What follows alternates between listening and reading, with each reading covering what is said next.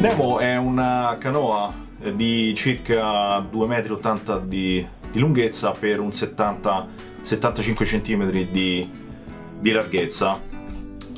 Le sue sezioni in corrispondenza della, della sezione maestra, della mezzeria, quindi dell'imbarcazione,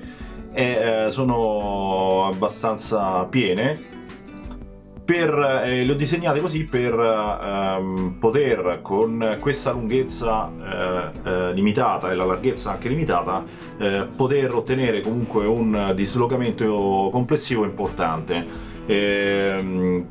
ciò significa che l'immersione per esempio che vedete in questa configurazione quindi con eh, il, il pelo dell'acqua in corrispondenza di questo piano eh, corrisponde ad un peso complessivo di 100 kg. Eh, tenendo conto di 20 kg di barca più 80 kg di peso dell'adulto, eh, vedete che eh, otterremo appunto questa, eh, questo galleggiamento, diciamo questa immersione complessiva di Nemo eh, nell'acqua.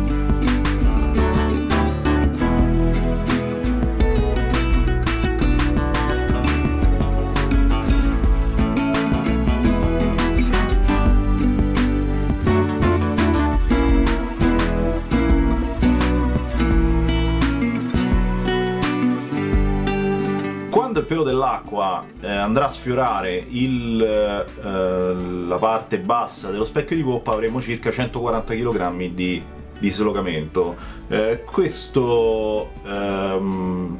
diciamo, questi 140 kg li potremmo ottenere installando ad esempio a poppa eh, un piccolo motore fuoribordo con, eh, relativa, con relativa batteria. Quindi anche eh, Mm, mettendo un motore, quindi del peso aggiuntivo all'interno di, all'interno di Nemo, otterremo comunque una linea, diciamo delle linee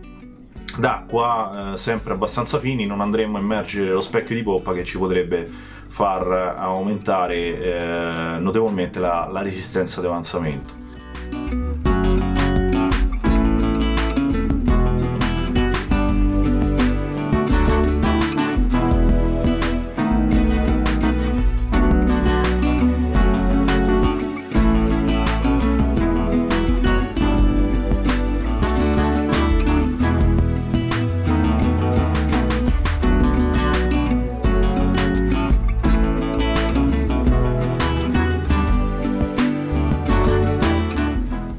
Il disegno del risultato del disegno delle forme eh, di Nemo è confluito nella, nella, definizione del piano di costruzione, quindi eh, nel disegno del,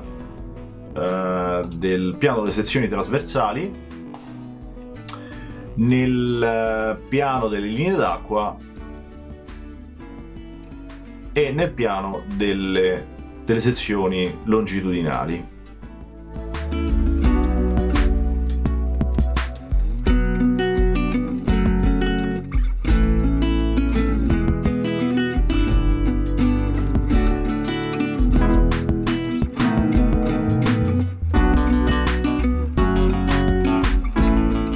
Nemo sarà eh, possibile eh, assemblarla in, eh, partendo dai, dai, piani di costruzione, ma ci sarà anche la possibilità con eh, i file di taglio eh, di avere alcune parti pretagliate a controllo, a controllo numerico.